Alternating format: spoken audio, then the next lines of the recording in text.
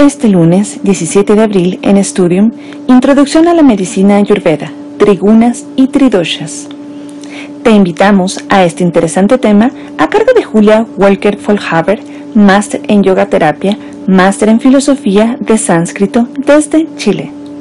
En esta exposición veremos cómo el ser humano está constituido fisiológicamente por tres factores, tridoshas, de cuyo equilibrio depende fundamentalmente la salud y bienestar.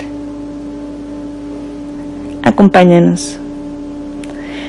No te olvides de seguirnos en nuestras redes sociales.